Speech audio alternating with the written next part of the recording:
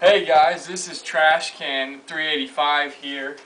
Just my brand new Tony Hawk uh, Huck Jam Series bike. Not only that, I'm shooting. My friend's shooting it on my new Sony CyberShot. All got off BidsTick. This site rocks. Keep up the good work.